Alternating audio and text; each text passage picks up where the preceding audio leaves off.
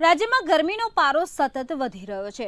ત્યારે સાબરકાંઠાના ખેડબ્રહ્મા પોશીના સહિતના તાલુકામાં ગરમીનો પારો ચાલીસ ડિગ્રી વટાવી ચૂક્યો છે. વધતી ગરમીના કારણે લોકોની અવરજવર બંધ થઈ ગઈ છે, જેને લીધે બજારો સુમસામ ભાસી રહ્યા છે. હવામાન વિભાગ દ્વારા હજુ પણ આગામી દિવસોમાં ગરમીનો પારો વધવાની આગાહી વ્યક્ત કરવામાં આવી છે, જેને પગલે લોકો કામ સિવાય બહાર નીકળવાનું ટાળી રહ્યા છે.